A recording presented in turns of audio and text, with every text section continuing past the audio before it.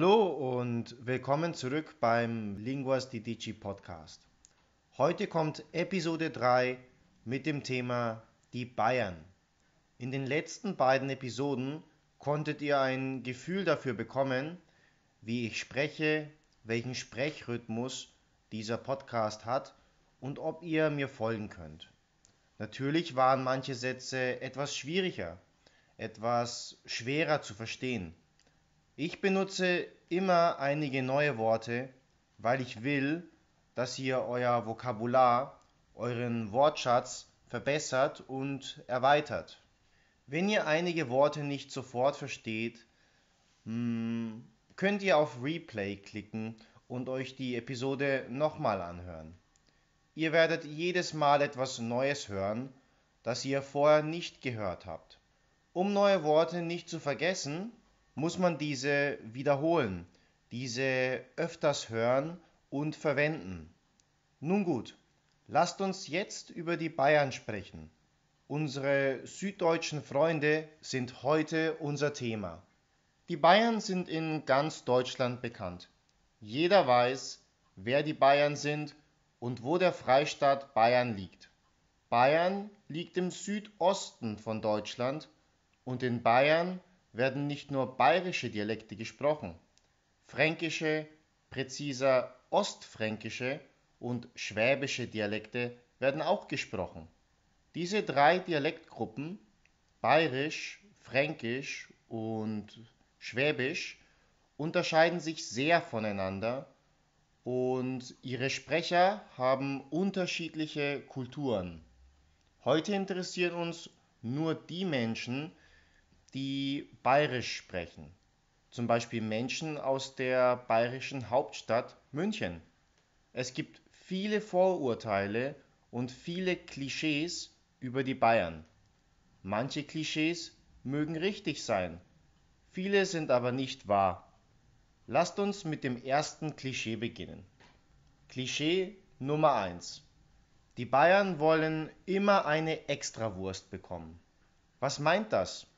Hm, eine Extrawurst bekommen, das ist ein bekanntes und beliebtes Sprichwort in Deutschland. Eine Extrawurst bekommen meint, dass jemand eine Extra oder eine Sonderbehandlung will und diese Sonderbehandlung auch bekommt. Viele Menschen in Deutschland denken, dass die Bayern oft eine Extrawurst bekommen. Warum? Woher kommt diese Meinung? Die Bayern waren schon immer sehr stolz auf ihr Bayern. Darum haben die Bayern auch oft Angst und die Befürchtung, dass der Staat Bayern innerhalb Deutschlands seine Souveränität verlieren könnte. Der Lokalpatriotismus, der Patriotismus gegenüber Bayern ist stark.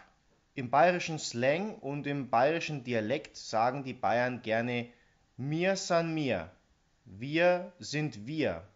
Die CSU, die einflussreichste politische Partei in Bayern, argumentiert stets für eine stärkere Position Bayerns innerhalb Deutschlands. Die Bayern suchen daher eine Extrabehandlung und wollen eine Extrawurst bekommen. Ein weiteres Klischee ist, dass die Bayern immer die typischen Lederhosen tragen jeden Tag Brezeln essen und die ganze Zeit Bier trinken.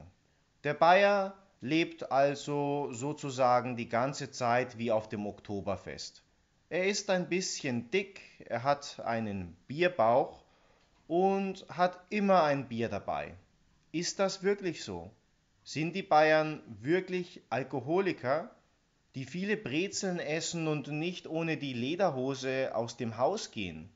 Ein Marktforschungsunternehmen, eine Firma, die Märkte erforscht, hat herausgefunden, dass nicht in Bayern, sondern in Ostdeutschland am meisten Bier getrunken wird. In den Regionen Brandenburg, Thüringen und Sachsen-Anhalt werden mehr als 110 Liter Bier pro Person pro Jahr getrunken. Ja, 110 Liter.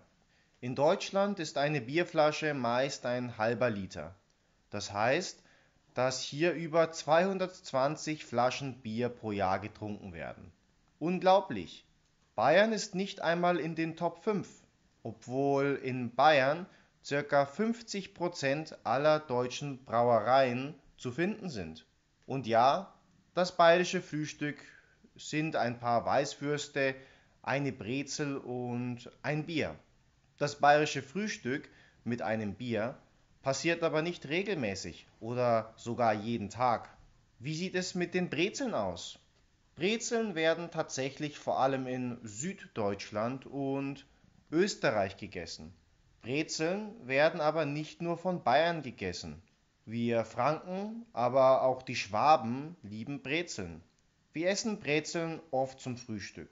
Es stimmt also, die Bayern essen gerne Brezeln. Das ist aber nichts, das nur die Bayern tun. Hm, und mal ganz ehrlich, wer kann schon Nein zu einer Brezel sagen?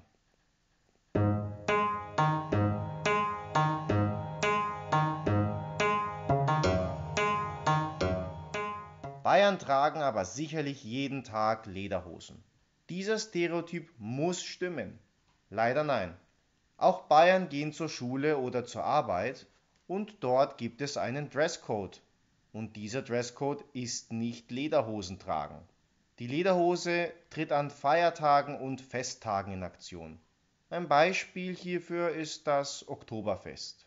Am Ende des Tages geht die Lederhose dann aber wieder zurück in den Kleiderschrank. Im Kleiderschrank bleibt die Lederhose dann auch, bis der nächste richtige Moment kommt. Kommen wir zum nächsten Klischee. Klischee Nummer 3. Die Bayern sind sehr konservativ. Dieses Klischee habe ich schon so oft gehört. Viele Menschen denken, dass die Bayern etwas konservativer sind, eine konservativere Mentalität haben und weniger offen sind für moderne Dinge. Der Grund ist, dass die Bayern ihre eigene Tradition sehr respektieren und ihren traditionellen Lebensstil nicht ändern möchten. Aber ist das wirklich wahr? Halten die Bayern an ihren mittelalterlichen Denkweisen fest? Haben die Bayern ein altmodisches Mindset? In Bayern gewinnt traditionell die CSU. CSU steht für die Partei Christlich-Soziale Union in Bayern. Und diese Partei kann auch nur in Bayern gefunden werden. Die CSU ist das Äquivalent, die Schwesterpartei der deutschlandweiten CDU. Angela Merkel ist zum Beispiel ein Mitglied der CDU. Nun gut, die CSU repräsentiert ziemlich konservative Werte und Prinzipien. Darum denken viele Menschen, Bayern, das sind konservative Menschen. Ist das richtig? In Bayern dürfen Mann und Mann und Frau und Frau seit einigen Jahren heiraten. Immigranten finden vor allem in Bayern ein neues Zuhause. Diese Menschen flüchteten aus ihren eigenen Ländern ihrer Heimat, um ein besseres Leben zu finden. Oft endet die lange Reise dann in Bayern. In Bayern finden sich sehr viele moderne Unternehmen und Firmen. Die neuesten Technologiestandards werden in Bayern umgesetzt und genutzt. Ich weiß daher nicht hundertprozentig, ob dieses Klischee über die Bayern richtig ist oder nicht. Aus politischer Perspektive hm, würde ich ja sagen. Aus gesellschaftlicher Perspektive wäre ich mir nicht sicher.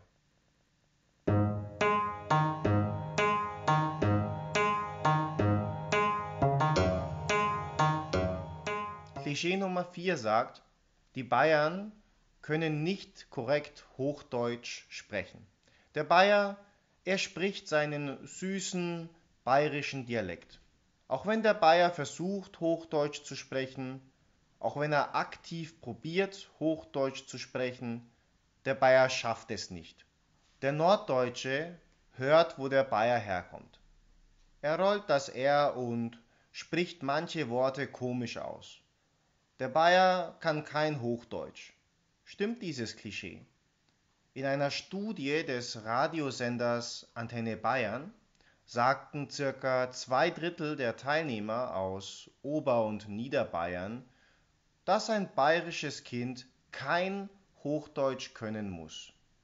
Das bedeutet auch, dass nur ein Drittel der befragten Menschen findet, dass ein junger Bayer Hochdeutsch können muss.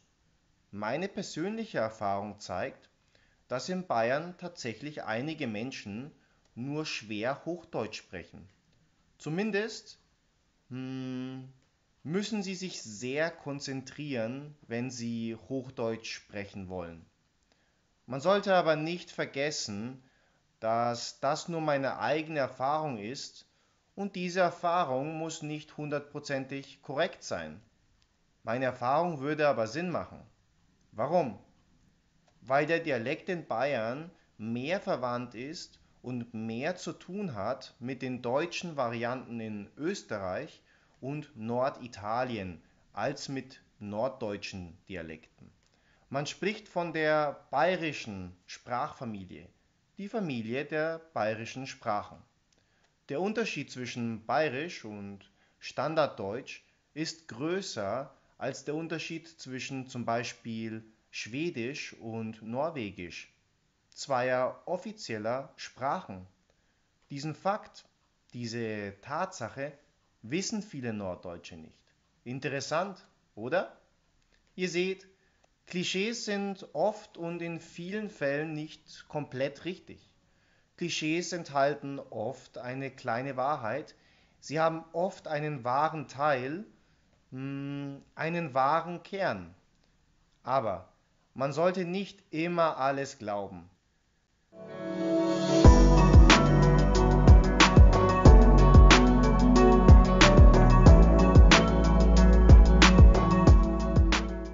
Nun gut, auch unabhängig von den Klischees, eins ist sicher.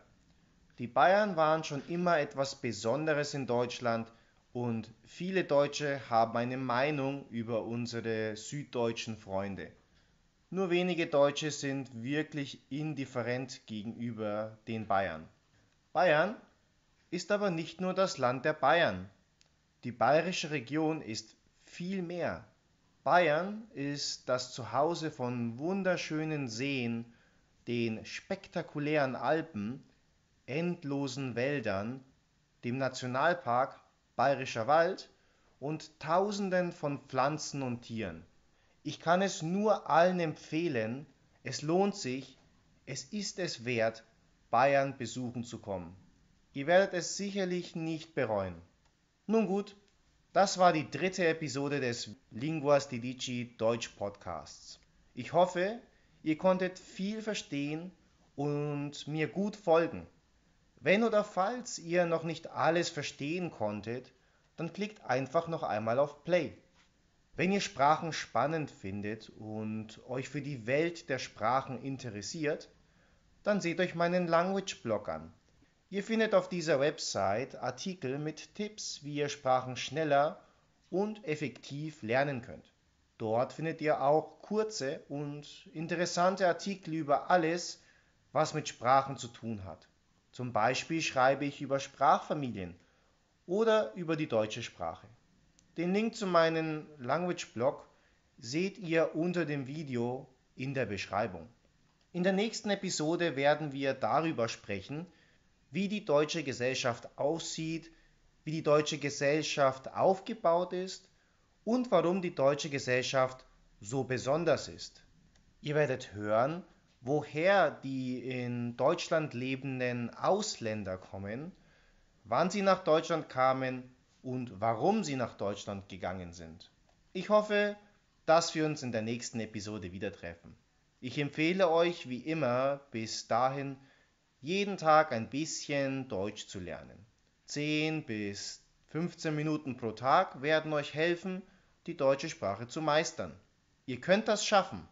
Na gut, das war es für dieses Mal.